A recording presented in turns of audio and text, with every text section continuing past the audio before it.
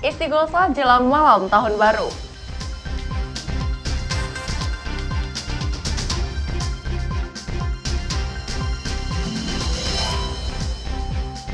Tak sesuai aturan, APK diturunkan.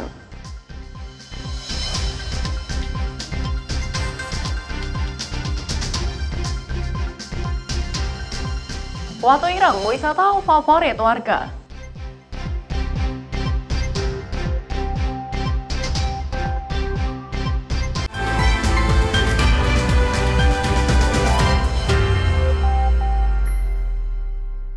Kompas Pekalongan hari ini hadir dengan beragam informasi penting dan menarik baik dari Pekalongan maupun sekitarnya. Selain tiga sorotan tadi, berita tentang pernikahan dengan mahar sandal jepit yang viral di media sosial akan mengisi Kompas Pekalongan hari ini.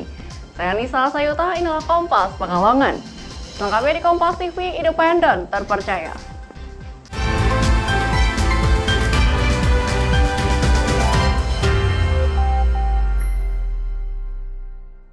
Ada nuansa berbeda pada perayaan penyambutan Tahun Baru 2019 di Kajen Pekalongan.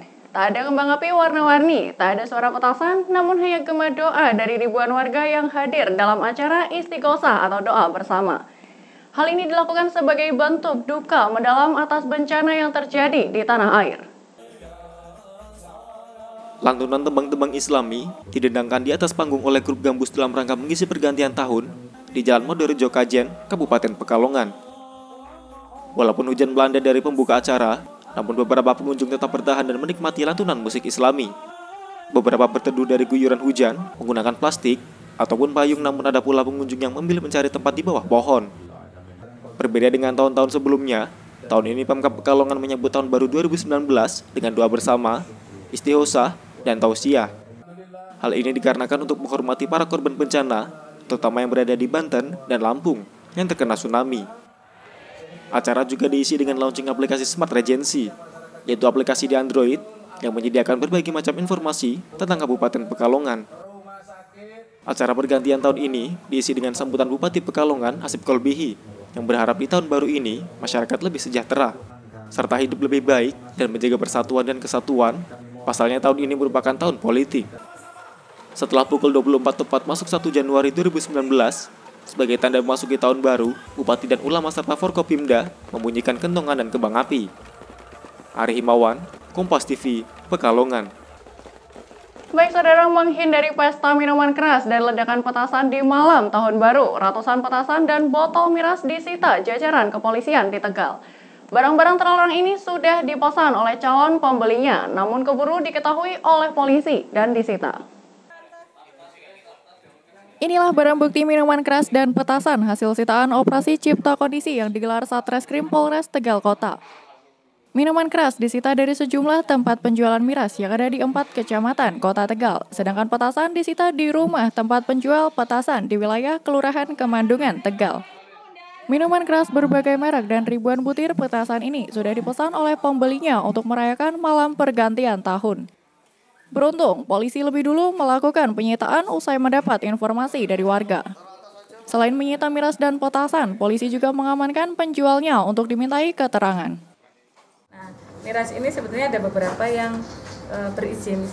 Maksudnya boleh, tetapi izinnya habis atau tidak ada tidak memiliki surat izin sehingga semuanya kita ya kita tarik untuk e, kita tegakkan dulu yang tidak punya izin tidak boleh menjual itu seperti itu. Kemudian sebelumnya kita sudah lakukan dan sudah dimusnahkan ada apa namanya uh, dengan MUI dengan uh, unsur musbida itu ada 3000 lebih.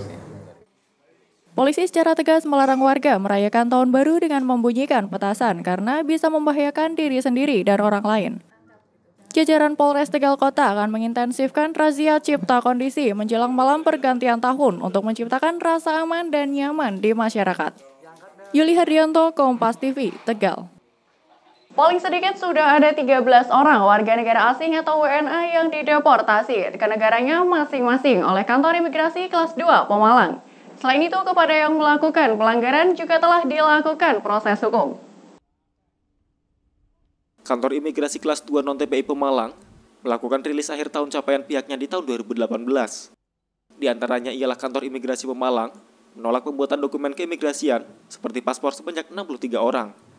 Sementara kantor imigrasi Pemalang telah menertibkan paspor untuk yang 48 halaman sebanyak 36.577 buku. Sementara yang 24 halaman sebanyak 91 buku. Tidak hanya itu, petugas juga melakukan penindakan pelanggaran keimigrasian di tahun 2018 untuk overstay atau penyalahgunaan izin tinggal sebanyak 25 kasus. Sementara untuk kasus deportasi, sebanyak 13 orang di tahun 2018. Petugas mengaku banyaknya kasus pelanggaran keimigrasian merupakan kerjasama antar masyarakat dan pihak imigrasi yang bertindak cepat ketika menemukan pelanggaran. Tidak hanya itu, di setiap kabupaten kota di wilayah Karsidenan Pekalongan sudah terbentuk lembaga yang secara khusus mengawasi keberadaan orang asing. Hal ini sangat membantu para petugas untuk mengawasi keberadaan orang asing yang ada di Karsidenan Pekalongan untuk warga negara Cina penyalahgunaan izin tinggal itu pasal 75 yang mana tidak melaporkan e, perpindahan alamat atau kegiatan keberadaannya.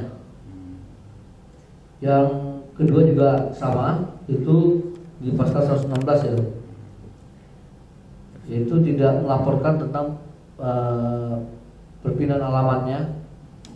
Masing-masing sudah dijatuhi hukuman untuk warga negara Pakistan itu adalah uh, pasal 123 yaitu memberikan keterangan tidak benar untuk mendapatkan izin tinggal. Di tahun 2019, berbagai terobosan baru akan dilakukan oleh kantor imigrasi Pemalang. Di antaranya ialah pembuatan paspor online yang aplikasinya bisa didownload di Play Store maupun App Store. Selain itu di Kabupaten Brebes, nantinya akan dibuat unit kerja kantor keimigrasian sehingga nantinya warga yang akan mengurusi dokumen keimigrasian tidak jauh-jauh ke Pemalang. Ari Himawan, Kompas TV, Pemalang. Baik saudara, untuk Anda yang berada di Pekalongan dan sekitarnya, kini kami hadirkan jadwal sholat selengkapnya.